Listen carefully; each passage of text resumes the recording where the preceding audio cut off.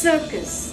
Why does this C sound S and the other C K in the same word? The letter C has two sounds. The hard sound K and the soft sound S. When C is used with A, O and U, it is the hard sound K.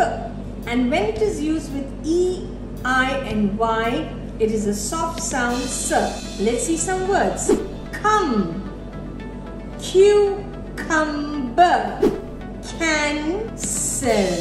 Now this is a soft sound because there is E here. Hard sound because there is A here. Circus because there is I here. Soft sound. Cuss. Hard sound because there is a U here. Now let's see the soft sound. City. Ice. Cycle. Pencil. So you can see all the verbs that we are using here.